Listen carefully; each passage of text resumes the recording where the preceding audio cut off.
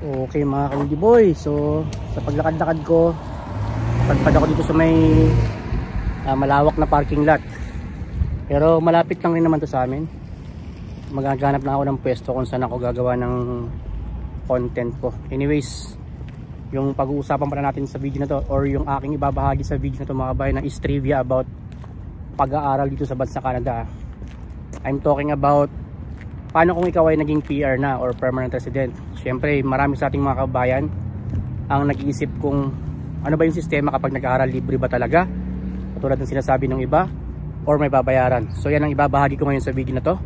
Kaya panoorin nyo ito hanggang sa huli mga kabayan ha, para magkaroon kayo ng information, tips, ideas and especially knowledge kung ano nga ba yung mga kalakaran dito or yung mga sistema kung sakasakaling nagbabala kayong mag-aral sa bansang Canada. But before that, kung sakasakaling bago ka pa lang sa akin channel, huwag mo kalimutan mag-subscribe and click mo notification bell para lagi kang updated sa mga bagong job opportunities, Boy FW, Boy Butcher, na aking na-upload.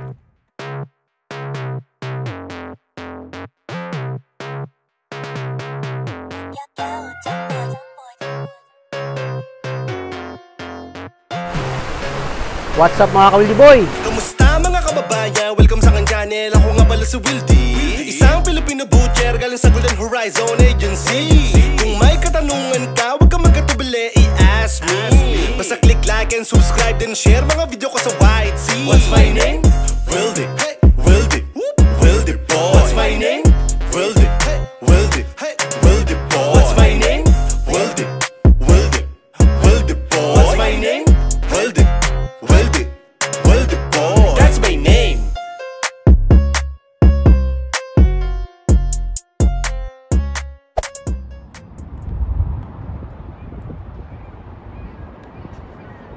What's up mga kawili boy? Isang pinagpalang araw sa inyong lahat dyan sa Pilipinas at sa lahat ng mga kababayan kong OFW and job seekers all over the world.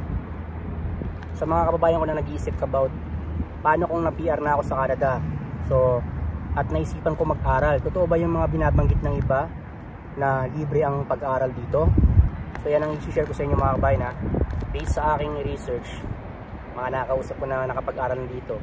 Hindi totoo na libre mga kababayan ha. Pero ang kagandahan yan, kapag ikaw ay nag-aral dito or nagbabalak ng mag-aral, pwede kang mag-loan sa government. So yun yung advantage ng mga kabayan na hindi ka maglalabas ng pera at the same time, uh, makakapag-aral ka and then kapag ikaw ay nakagraduate, doon ka palang magkakaroon ng time na magbayad. So magkakaroon ka ng quality education, magkakaroon ka ng diploma, kumbaga privilege ng bansang Canada na ikaw ay makapag-aral na hindi ka gagastos. Okay? Hindi ka gagastos for the meantime, syempre ikaw nga ay nangutang, pero it doesn't matter. Ang importante doon ay makakuha ka ng diploma.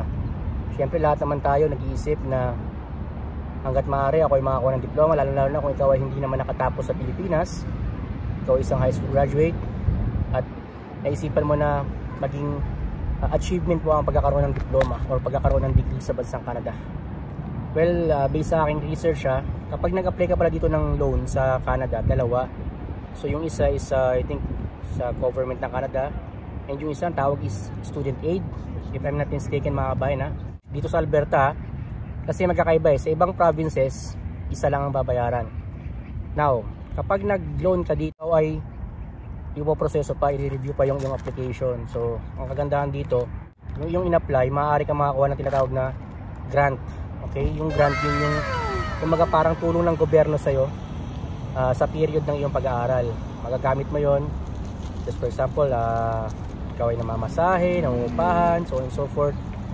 At maaari mo pang isama kung meron kang mga dependents. Maaari mo isama sa application, maaari nilang bigyan ng ano yun, uh, sapat na tulong sa kapag ikaw ay nag-aaral, nagtatrabaho at nag-aaral. So yun. Ngayon, kapag uh, ikaw ay naaprubahan, ito na. Depende yan sa application mo eh. Kung pagkano ang ibibigay ng government. Pero sigurado na meron kang makukuha na pangbayad sa iyong tuition. So yung pambayad sa iyong tuition, bukod pa yung tinatawag na grant. Ngayon, kung tatanungin niyo ako, paano ako magbabayad? Ngayon, ang pagbabayad niyan mga kabayan is ganito. Hindi ka magbabayad while ikaw ay nag-aaral pa. Kapag natapos na ang iyong uh, course, may tinatawag silang grace period. So yung grace period na yun, yun yung time na uh, may enough time ka na makabuelo ka or at that time uh, makakahanap ka ng trabaho kumbaga particularly related sa iyong inaral nang sa ganun makapagbayad ka sa government okay ng iyong inutang. Ngayon ang grace period na tinatawag ko yan yung 6 months na kumbaga binigyan kanila ng palugit na magkaroon ka ng buwelo nang sa ganun ikaw ay makapagbayad sa kanila na hindi ka na nahihirapan. Syempre hindi kanila bibigyan eh. Ito lang ang paalala ko sa mga maaprubahan sa kanilang mga loans mga kabayan na wag na wag ninyong gawin na i-drop ninyo ang inyong course pero kung sakasakali lang hindi inaasahan may mga hindi nasa pangyayari at na-drop ninyo ang course yung inyong loan babayaran nyo pa rin. Kasama yung grant mga kabayan na yun ang hindi maganda dyan. Pero kung halimbawa lang natapos mo yung program natapos mo yung course mo hindi mo babayaran yung grant. Just for example nabigyan ka ng grant na worth of $10,000 mga kabayan ha?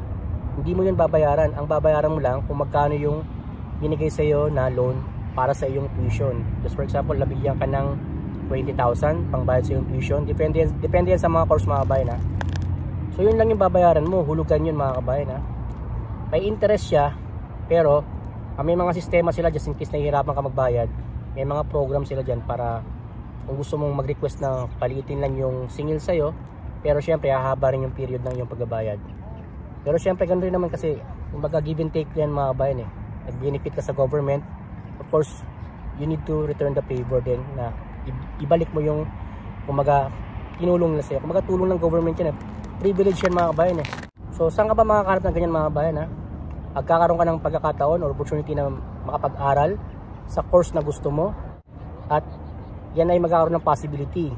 Hindi ka nga maglalabas ng pera pero hindi mo to iisipin na libre. Of course babayaran mo yan after mo makapagtapos.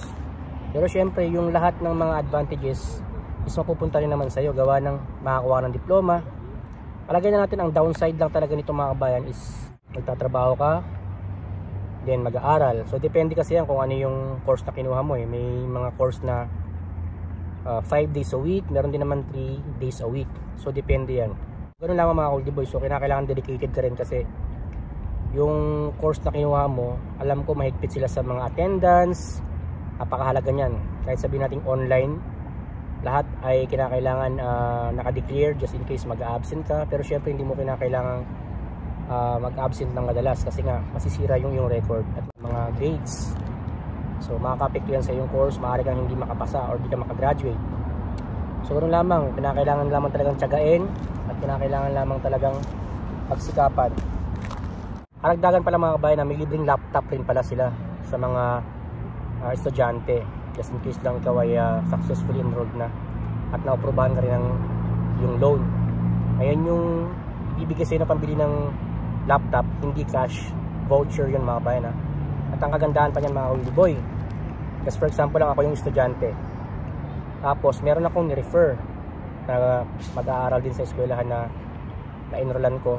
Magkakaroon ako ng tinatawag na referral uh, bonus or merong referral payment. Alam niyo kung magkano? $1,000 each mga bayan ha. So kung makapag uh, refer ako ng dalawa or lima well magkakaroon ako ng referral bonus o referral, referral payment pero siyempre yung mga ipapasok ng mga estudyante kinakailangan tuloy-tuloy yung kanilang pag-aaral o kanilang pagkuha ng programa para siguradong pasok yung referral payment sa akin and ganun din naman kapag sila naman ang magre-refer ng ibang mga estudyante magkakaroon sila magkakaroon din sila ng referral payment. So maganda rin ba mga kuliboy so yun. Isa yan sa mga privilege dito sa bansang Canada kapag ikaw ay isa ng permanent resident mga bayan magkakaroon uh, ka ng chance na makapag-aral pero take note hindi libre pero meron kang opportunity na magkaroon ng katuparan yan dahil papautangin ka ng government. Wala kang lalabas na pera out of your pocket magkakaroon ka pa ng tinatawag na grant. Depende yan sa kung magkano ang bibigyan nila 10,000 15,000 depende yan guys eh. ang importante lang dito just in case na meron kang goal na makapag-aral dedication and syempre kinakailangan uh, pagsikapan mo talaga na matapos. Sino rin naman na mag-benefit dyan kundi ikaw rin in the future for your career? So yun. Ayot na gustuhan nyo yung video na to ha.